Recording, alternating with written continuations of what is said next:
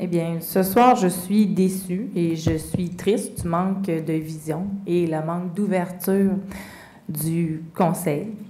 Euh, vous savez, M. Vallière, être émotif, là, ça ne veut pas dire pas être rationnel. Donc, vous avez le droit d'être émotif. Moi, je suis émotive, mais je suis rationnelle, par exemple. Euh, les PIIA qui ont voté, qu'on a, qu'on a voté contre, ça ne veut pas dire qu'ils ne peuvent pas démolir. Ils peuvent démolir, mais il va falloir qu'ils rebâtissent avec des règlements qui rentrent dans un PIA, c'est-à-dire il faut qu'ils respectent l'architecture, il faut qu'ils respectent... Ça peut faire comme l'histoire de la Seigneur, en passant. Euh, on ne changeait pas non plus les habitudes de vie dans cet endroit-là. Il y avait déjà une manufacture, là. il y avait déjà des couturières qui faisaient euh, des brassières à cet endroit-là.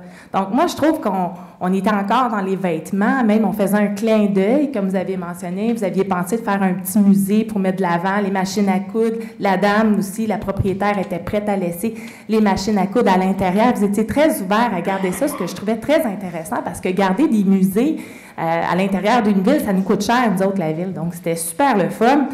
En plus, vous vouliez voler vos propres ailes. On vous empêche de devenir autonome et c'est ce que vous faites pour la population. Je trouve ça plate. On a manqué notre coup encore une fois. De plus, tantôt on a dit les bâtons dans les roues. Oui, on vous donne des bâtons dans les roues. Vous nous aidez. Vous récupérez nos, nos trucs. Vous êtes un service aux citoyens.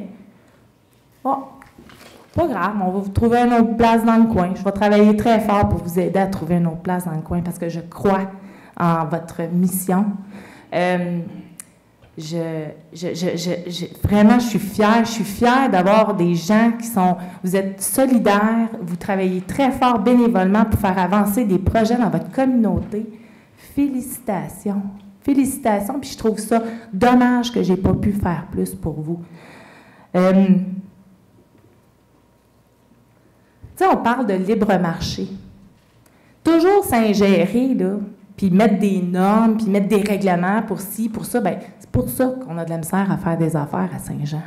Oh non, oh, moi je veux pas ça, on va mettre un PIA là, on va faire ça, on va faire ça. C'est comme ça que ça marche à Saint-Jean. Puis c'est compliqué. Puis il y a des fois qu'il faut juste laisser libre cours. Il y a un bâtiment qui va peut-être faire faillite on a un projet qui est déposé, on n'a pas à gérer. Des fois, quand on veut trop contrôler, là, ben, ça met des bâtons dans les roues, puis il n'y a plus personne qui est intéressé à acheter l'immeuble.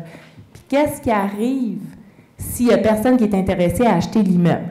Bien là, il y a du vandalisme, le bâtiment est, est vide, le gazon est trop long, puis c'est qui qui prend en charge de ça? C'est la ville.